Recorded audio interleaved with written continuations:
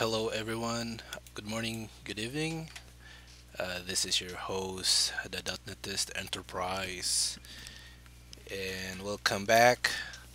In this video, we're going to talk about refresh token. So I already implemented this, and I will just summarize what I did here. Um, we are going to have two anonymous uh, allow anonymous um, endpoints, the login and the refresh token. And here in the logged in, we're going to authenticate the user. And then if the user is authenticated, then we're going to, to generate token for the user. And we get the token string and the refresh token. So we're going to discuss this later and in the refresh token endpoint we're first going to um, uh, do a lot of checking here. I check the the valid uh, through the validate validated token. We're going to get the user here and then we're going to generate we're going to check uh, the blah blah blah all those checking here check the stored um, refresh token. We're going to check if it's invalidated or if it's being used or if it's the same with the uh, JWT ID that we created on the login.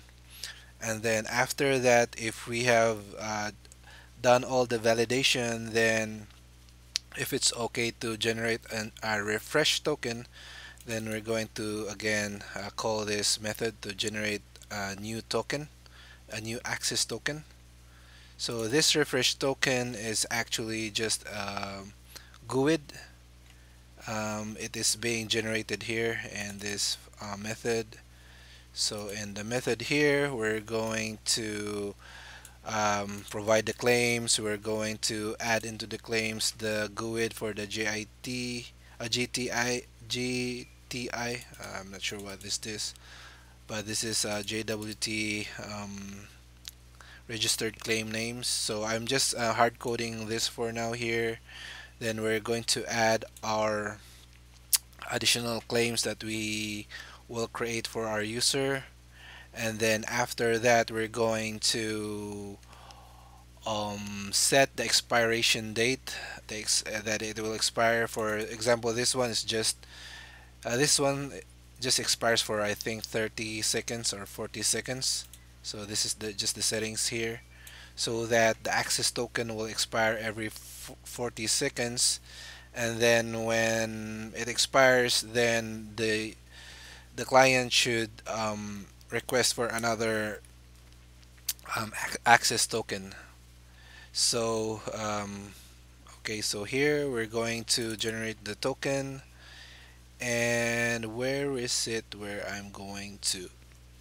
Oh yeah this one here. This is the token for this is the um, refresh token. So this is just a GUID and um, yep.